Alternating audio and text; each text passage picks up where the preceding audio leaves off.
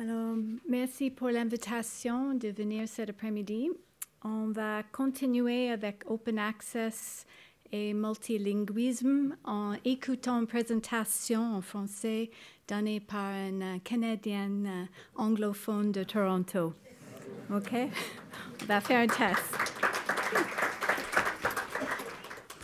Alors, je suis chef de la bibliothèque de l'Organisation mondiale de la propriété intellectuelle et aussi euh, de la section de, des publications et de distribution. Autant de bibliothécaires et d'être en charge de mettre les publications de notre organisation à la disponibilité au maximum de personnes possible, libre accès est très bienvenu. Pour les chercheurs qui viennent à notre bibliothèque, du partout du monde et qui ne profitent pas seulement de notre collection riche sur place, mais aussi que nous leur apprenions comment trouver de l'information de valeur gratuite et ouverte depuis chez eux. Pour les chercheurs qui n'ont pas l'opportunité de venir à Genève et qui contactent notre bibliothèque pour obtenir les œuvres académiques, nous pouvons leur envoyer les ressources clairement marquées libre accès en sachant qu'ils peuvent les utiliser sans restriction.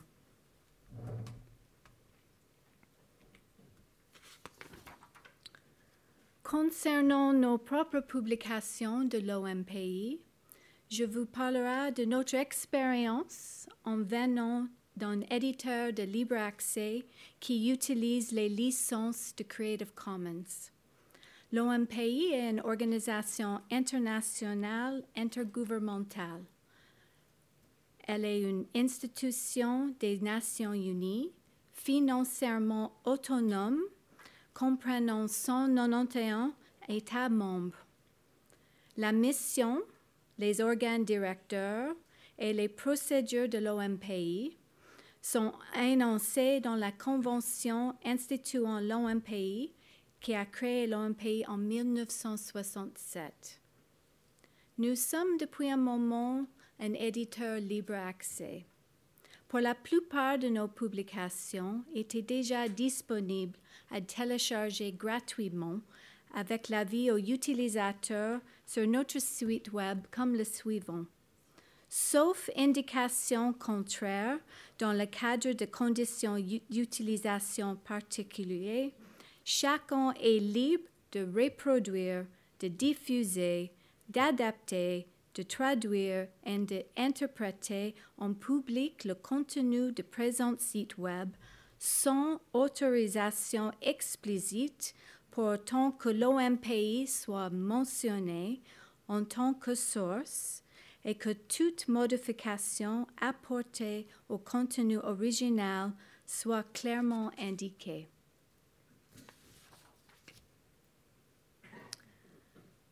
Alors, ces organisations internationales ont commencé à discuter entre eux exactement comment clarifier cette même sorte d'usage de l'information qu'ils produisent. Alors un groupe initial s'est formé.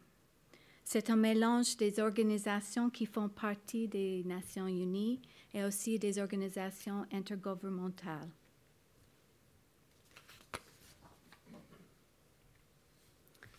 La chronologie de la formation du groupe de travail et les interactions avec Creative Commons est résumée ici. Avec l'Organisation de coopération et de développement économique, OCDE, l'OMPI était l'organisation qui a communiqué avec Creative Commons de la part du groupe de travail. C'était nécessaire d'avoir une licence qui était accordée par ce groupe de travail et plus spécifiquement leur office juridique. En plus, il y a eu les détails importants comme les traductions des licences à faire au minimum dans les six langues des Nations Unies. En travaillant ensemble, les OIG ont supprimé leur principal obstacle externe à l'accès libre.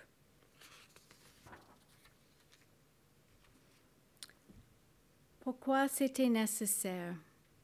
La particularité de ces organisations est le fait qu'ils ne font pas partie d'un pays spécifique. Alors, s'il y a, y a une question légale concernant l'usage d'une œuvre, ça ne peut pas être répondu euh, dans un tribunal national. Alors, ça, c'est vraiment les, licences qui ont existé, existé, déjà à cette époque n'étaient pas euh, euh, bien pour nous, pour vraiment ce, ce, point qui est très important. Les autres versions de la licence point 3.0 national ne pouvait pas être utilisé. C'est pour ça que le règlement d'arbitrage de la CNUDCI, Commission des Nations Unies pour le droit commercial international, était utilisé par ces licences. Et c'est pour ça que ça a pris ces deux ans de, de conversation très euh, complexes, compliquées, tout le monde s'est mis d'accord. C'était vraiment d'être sûr que ces licences seront vraiment pour l'usage de ces sortes d'organisations. Libre accès à l'OMPI. Alors, la paternité CC by IGO et la licence par défaut à l'OMPI. Nous avons un conseil des publications internes pour les nouveaux teachers ou si c'est nécessaire, on peut expliquer si une autre licence doit être appliquée. Une licence s'applique à seulement le contenu de l'OMPI, pas de, de, nos États membres ou, des, tiers, et euh, où l'OMPI a le droit d'auteur de contenu. Nous utilisons ces licences aux toutes nouvelles publications depuis novembre 2016 et nous les appliquons au contenu qui date avant cas par cas.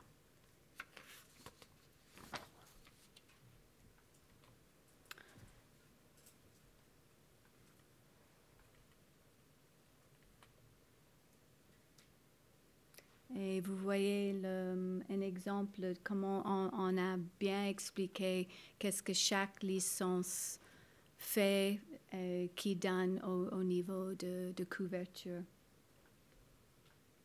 Maintenant, les publications de l'OMPI sont clairement marquées s'ils ont ces licences. Depuis notre plateforme web, les titres avec une licence peuvent être facilement trouvés. Vous voyez à gauche en bas et on peut faire les recherches La licence attribuée est clairement indiquée sur la page de chaque publication. La licence est clairement indiquée, marquée sur la page de couverture. Et plus, euh, plus important, la licence est encore plus expliqué sur la page de bibliographie dans chaque publication. Et avec cet exemple, ça explique que la licence CC BY est appliquée sur la plupart des contenus, mais il y a deux tableaux avec la licence euh, plus restrictée. Um, CC BY NCND et euh, euh, comme ça, l'utilisateur, ces marques peuvent nous contacter au cas où euh, comment ils vont utiliser. Il y a toujours une discussion possible, mais au moins comme ça, c'est clair. Qu'est-ce qu'ils peuvent faire et comment? Nous avons attribué les licences à autres contenus comme quelques images aux plateformes de Flickr. nos vidéos sur YouTube et je, je vous euh, montre les deux exemples à, à votre gauche. C'est avant la licence et après euh, la licence appliquée. Et comme j'ai dit, on, va aller en arrière cas par cas.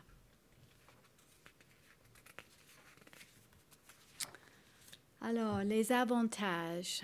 il y a plusieurs. Ces organisations produisent tellement de contenu qui est fait à consulter à réutiliser par les citoyens des États membres de l'OIG. Et ces licences aident ces organisations à gérer cet usage. Et ça, c'est vraiment le message le plus important. C'est la gérance pour, bien expliquer, montrer qu'est-ce que les utilisateurs peuvent faire avec. Et ils n'ont plus besoin de venir à chaque organisation de faire la demande. L'usage est clair, titre par titre, sans référer un message global d'un site web ou d'autre. Il n'y a pas de barrière à utiliser le contenu. C'est pas insinué, c'est clairement marqué. Libre Accès soutient le mandat principal de ces organisations, qui est la diffusion de l'information. La diffusion d'informations utiles à l'échelle mondiale est alignée sur la mission intérêt public des organisations internationales et les politiques de libre accès aident à atteindre un public plus large d'une manière conviviale. Libre accès à construire des institutions efficaces, responsables et inclusives à tous à tous les niveaux. Ils peuvent servir de modèle important et ainsi conduire le changement entre les gouvernements et les acteurs de la société civile. Bien sûr, il y a toujours les défis. Um, travail est nécessaire notamment sur la normalisation, l'interopérabilité et d'autres efforts pour assurer la découverte et usabilité de contenu et le respect des nouvelles normes émergentes. Le dialogue et la collaboration pratique entre les OIG ont été cruciaux pour soutenir leurs adoptions internes de libre accès. Une attention particulière devrait être accordée à la durabilité à long terme des dépôts qui hébergent ces titres et encore les défis politiques. Les organisations peuvent rassembler différents parties prenantes dans leurs États membres et dans leurs circonscriptions en proposant des solutions concrètes pour accélérer le libre accès.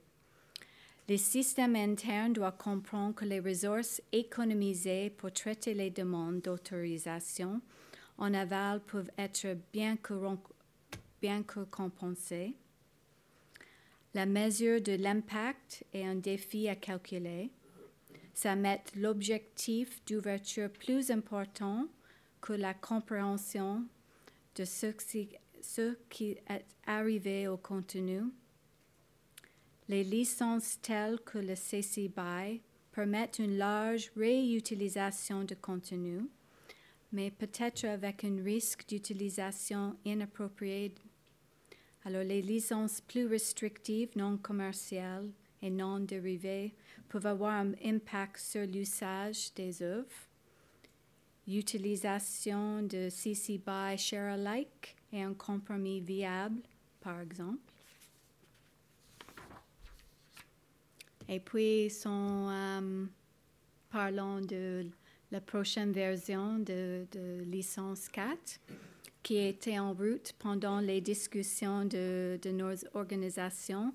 Euh, on, le savait, mais nous avons euh, décidé de continuer d'avoir cet aspect de euh, règlement d'arbitrage pour, pour nous. Alors, les principales caractéristiques la grande différence, c'est que la prochaine ou la version en, le, plus récent maintenant protège les bases de données, les sous-générous, c'est-à-dire l'ensemble de données qu'elles contiennent, um, sans oubliant que les organisations peuvent toujours utiliser cette licence s'ils veulent. C'est pas exclu ne sont pas obligés de rester avec euh, la licence à nous. Alors ça, c'est un bénéfice, mais euh, les organisations doivent se rendre compte qu'ils peuvent utiliser, mais il n'y a pas ce, euh, règlement de UN Citral inclus. Alors, le groupe de travail existe toujours. Il a encore plus de membres et ils discutent régulièrement leurs besoins en commun. Merci.